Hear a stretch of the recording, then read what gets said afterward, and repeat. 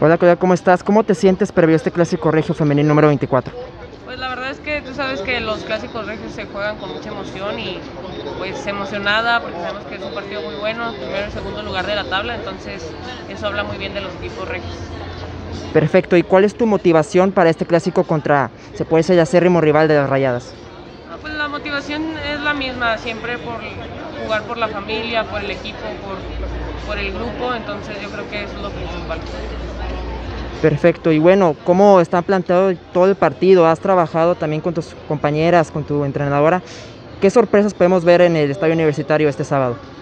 No, pues yo creo que es trabajo de toda la semana y de toda una temporada. Hemos trabajado muy bien, hemos trabajado en conjunto, se ha trabajado muy intenso, entonces estamos concentradas en, en nuestro trabajo principalmente. Excelente. ¿Y qué más valoras de este rival? ¿Qué es lo que tú dices que, que más, las, más ha enfocado el conjunto y que tú puedas decir que, que, han trabajado sobre ello? Pues yo creo que todos sabemos que Tigre siempre ha sido un equipo muy ofensivo, entonces hay que trabajar mucho de esa parte. Yo creo que el equipo que cometa menos errores es el que va a salir adelante. Perfecto, gracias Claudia. Claudia.